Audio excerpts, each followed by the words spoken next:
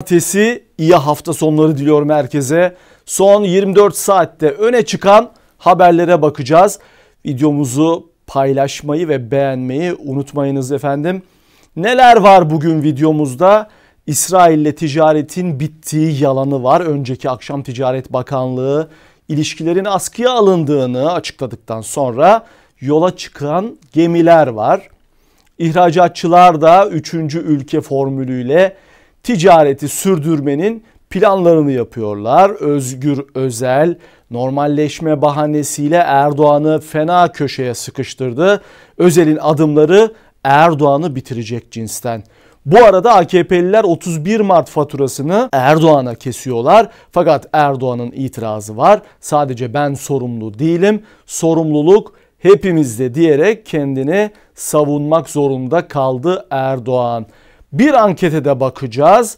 Vatandaş AKP'nin zenginleri koruyup kolladığını düşünüyor artık. Erdoğan kimsesizlerin kimsesi değil. Bir de AKP'nin görev adamlarına bakacağız. Ballı maaşlı görevleri, yönetim kurulu üyeliklerini ikişer üçer has adamlarına dağıtmaya devam ediyor. Erdoğan Türksel'deki yeni düzeni anlatacağız. Ben İrfan Galip Dumlu, Gündem Özel'e hoş geldiniz. Türkiye'de özgür medya olmadığı için gerçekleri yurt dışındaki gazetecilerden öğrenebiliyor halk. Bunun en önemli örneği Metin Cihan. Gazeteci Cihan AKP iktidarının iki yüzlü siyasetini kevgire çevirip Ankara'nın İsrail'le ticaretini deşifre etti. Günlerce bu işin üstüne gitti. Her gün iki ülke arasındaki ticaret trafiğini belgeleriyle ortaya koydu. Tabi halkın gerçek bilgiye ulaşmasını dert etmiyor AKP. 31 Mart seçimini kaybetmesinde İsrail ile ticaret önemli rol oynadığı için bir çözüm düşünüyorlar.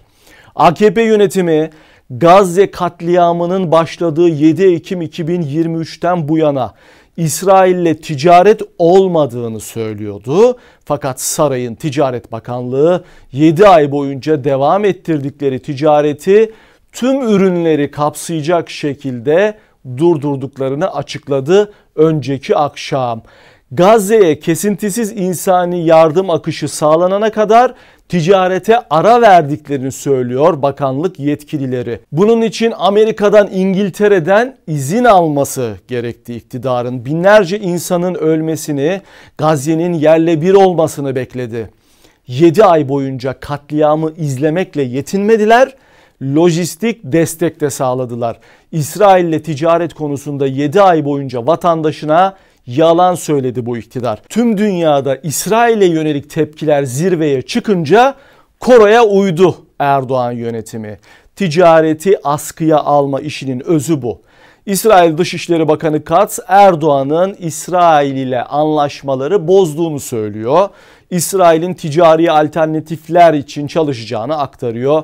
Ticaret Bakanlığı resmi Twitter hesabından, X hesabından daha önce de açıklama yapmıştı. İsrail ile ticaretin devam ettiğini yazan gazetecilere değinmişti provokatif ve yalan haberler yaparak halkı kışkırtmaya çalışan bazı yayın organlarının uydurma haberleri diye tanımlamıştı o gerçek haberleri.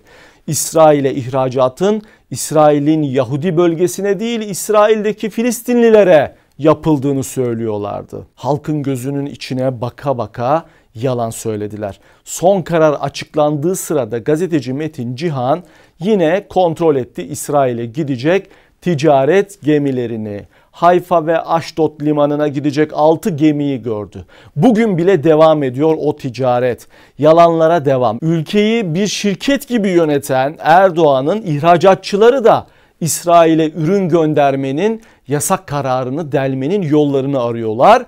Bunu üçüncü ülkeler üzerinden yapmanın formüllerini masaya koydular. Reuters haber ajansı önemli bir haber paylaştı aboneleriyle adlarının açıklanmasını istemeyen Türkiye'den 4 ihracatçıya dayandırılıyor haber. İhracatçılar hali hazırda ödemesi alınan üretim bandına giren, yola çıkan veya gümrükte takılan ürünleri Lübnan, Mısır ve Ürdün üzerinden İsrail'e göndermek için kolları sıvadılar. Türkiye İhracatçılar Meclisi Başkanı Mustafa Gültepe'de İsrail'e ihracatın durdurulması nedeniyle oluşabilecek kaybı bir anda başka pazarlarla kapatmak kolay değil diyor. O da çok memnun değil ticaretin askıya alınmasından. Çünkü Türkiye ile İsrail arasındaki yıllık ticaret hacmi 7 milyar dolar. Dünya Basın Özgürlüğü günüydü dün. Almanya merkezli International Journalist Derneği Türkiye'deki basın özgürlüğünün vahim durumuna dikkat çekti. Acil uluslararası eylem çağrısı yaptı. Türkiye'de gazetecilerin sistematik baskı, hapsetme ve sansürle karşı karşıya kaldıklarını duyurdu. CHP Genel Başkanı Özgür Özel de basını özgür bir Türkiye, demokrasimiz için şarttır dedi. Sansürün, otosansürün ve siyasi baskının olmadığı koşulların yaratılmasının gazetecilerin haberleri nedeniyle cezaevinde olmayacakları bir ülkeyi sağlamak için mücadele sürdüreceklerini anlattı. Türkiye Gazeteciler Sendikası'na göre 16 gazeteci bugün hala yazdıkları ve söyledikleri nedeniyle cezaevinde tutuluyor. Tabi bu listede eksik isimler var. Sadece geçen yıl Türkiye'de 43 gazeteci cezaevine atıldı. Gazeteciler özgürlüğünü yitirirken toplum haber alma hakkını Türkiye ise demokrasiyi kaybediyor. Avrupa Konseyi'nin bir raporu vardı. Türkiye dünyada en fazla gazetecinin hapiste olduğu ülkedir diyordu daha düne kadar. Çin'i Rusya'yı bile geride bırakmıştı AKP iktidarı. 2018'de 110 gazeteci Türkiye cezaevlerinde hapisti. AKP'nin ilk 20 yıllık iktidarı boyunca tam 848 gazetecinin tutuklandığını söyleyelim bu ülkede. Kürt gazeteciler belirli aralıklarla polis tarafından gözaltına alınıyor. Muhalif gazeteciler fişlendikleri için çalışacak kurum bulamıyor. Daha iki gün önce gazeteci Barış Terkoğlu yaptığı bir haber nedeniyle iki yıl hapis cezası aldı. Özgür düşünceyle, özgür basınla bir derdi olduğu kesin bu AKP yönetiminin. Bu arada üzücü bir haber aktaralım. Artı TV ve Artı Gerçeğin kurucusu gazeteci Celal Başlangıç hayata veda etti. Bir süredir Almanya'nın Köln kentinde kanser tedavisi görüyordu.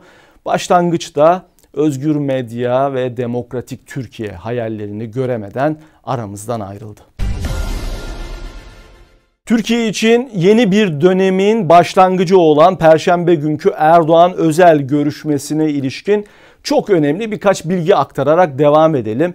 Siyasette meşhur bir tartışma vardır. Ya oyundan çıkacaksın ya da oyuna göre oynayacaksın. Kemal Kılıçdaroğlu oyundan çıkmıyordu. Oyuna göre de oynamıyordu. İkiye bölünmüş bir Türkiye vardı ve herkes kendi kampında zorunlu bir hayat sürüyordu. Bu da Tayyip Erdoğan'a yarıyordu. Normalleşmiyordu Türkiye. CHP'nin başına Özgür Özel'in geçmesi ve arkasından gelen 31 Mart CHP zaferiyle normalleşme başladı. Tüm televizyon kanallarının her fraksiyondan basın kuruluşlarının perşembe günkü o görüşmeyi pozitif anlamda vermesinden bunu anlayabiliyoruz. Sokaktaki polis dahi Özel'i ana muhalefet partisi lideri olarak görmeye başladı. ATV A Haber izleyicisi bölünmüşlükte hain cephesine konulan Özel'in liderleri Erdoğan'la tokalaşmasına tanık oldu. Şimdi kamplar arasında geçişlere tanıklık ediyoruz. Tabi bu normalleşme sürecine ve sonrasına ilişkin Erdoğan'ın da stratejisi planları var. Sürecin sonu iyi bitecek demek için erken ancak normalleşmenin ya da Erdoğan'ın dünkü ifadesiyle yumuşamanın Türkiye'ye yarayacağı kesin. Kamuoyunun gerginliği azalacak, kutuplaşma silikleşecek. Yeni anayasa için referandum kararı alabilmek AKP, MHP dışındaki partilerin desteğine bağlı. İyi Parti'den bile hayır oyu verecek isimler az değil. Diğer taraftan Erdoğan ekonomideki kötü gidişi 2028 seçimlerine kadar perdelemek amacıyla normalleşme politikası da izliyor olabilir. Özgür Özel ise merkez parti olmayı kafaya koydu. Bloklar arası ittifak yapayım, sekülerizmi koruyayım diyecek noktada değil. Birinci parti olmanın tadı ve gücü kendisini etkiledi. Erdoğan'ın da özelinde normalleşmeye, yumuşamaya ihtiyacı var. Tayyip Erdoğan 10 yıldır ekonomiyi düzeltemiyor. Çok kötü adaylar çıkarıyor. Büyük bir heyecanla 50 artı bir şartını getirdi. Bakın şimdi aleyhine gidiyor. Siyasette çok güçlü bir aktör de olsanız her şeyi düzeltemiyorsunuz. Bunun kanlı canlı örneği Tayyip Erdoğan. Özgür Özel'in son birkaç açıklamasına bakınca ülke yönetimiyle ilgili, belediyecilikle ilgili, adam kayırmayacağını söylemesiyle, çalmayacağını vurgulamasıyla ilgili puanının daha da arttığını görebiliyorsunuz. Özgür Özel ittifaklardan aldığı oyları geri dönmeyecek şekilde korumak istiyor özel normalleşme konusunda ısrarcı ve bu adımlar Erdoğan'a kaybettirecek adımlar. Kişisel hesapları da olabilir. Bunu zamanla göreceğiz. Ancak MHP'nin AKP'nin ayağına dolanmış bir taş, bir vesayet gibi konumlandığını görünce Erdoğan'ın arayış içinde olması kaçınılmaz. MHP Genel Başkanı Devlet Bahçeli'nin saldırgan tavrı da buna işaret ediyor. Bir Mehmet Şimşek'e çakıyor, bir Erbakan'a sallıyor. Bahçeli cephesinde de ortam çok gergin. 8 yıl sonra Türkiye'nin ilk kez yaşadığı bir AKP-CHP zirvesine tanıklık ettik.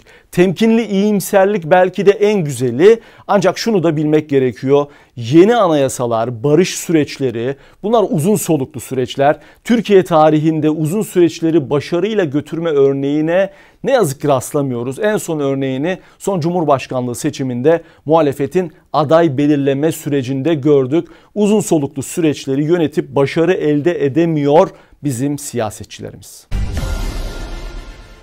31 Mart yerel seçimlerindeki yenilginin hazmı hiç kolay değil AKP ve özellikle Erdoğan için. Türkiye gazetesinden Yücel Kayaoğlu AKP kulislerinden önemli bilgiler aktarıyor. Seçim hezimetinin faturasını sesli olarak Erdoğan'a kesenlerin sayısı hiç de az değil partide. Öyle ki Erdoğan kimsenin seçim yenilgisi sorumluluğunu almak istememesine tepki gösteriyor, isyan ediyor. Bazı arkadaşlar tek sorumlu benmişim gibi davranıyor. Bütün sorumluluğu bana yüklemek isteyenler var ama burada ben tek başıma değildim. Hepimiz sorumluyuz diyor Erdoğan. Bayram tatili sırasında birkaç önemli görüşme yaptı Erdoğan. Buradan sızan bilgilere göre de AKP politikalarında değişikliğe gidiliyor. AKP'de kapalı kapılar ardında Erdoğan'ın bakış açısının değiştiği konuşuluyor. Erdoğan'ın çok eskilerden beri savunduğu ve kendi tabanına bile kabul ettirdiği başarı varsa benimdir, başarısızlık sizin yüzünüzdendir anlayışını değiştirecek mi yakın zamanda göreceğiz hep birlikte. Mevzu para olunca halkı aldatmaktan hiç çekinmiyor AKP iktidarı. Bunu yaparken de en çok TÜİK'i maşa olarak kullanıyorlar Türkiye İstatistik Kurumu'nu. Enflasyon TÜİK'e göre %69-80, 70 diyebiliriz.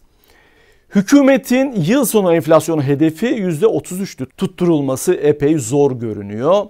Bağımsız akademisyenlerin ve ekonomistlerin oluşturduğu enflasyon araştırma grubu ENAK ise enflasyonun %124'ün üzerinde olduğunu açıkladı. Nisan verileri bunlar. Hangisinin çarşı pazardaki fiyatlara bakılarak hazırlandığını en iyi halk biliyor. TÜİK Nisan ayı enflasyon rakamlarını paylaşırken ekonomistlerden dikkat çeken tespitler geliyor.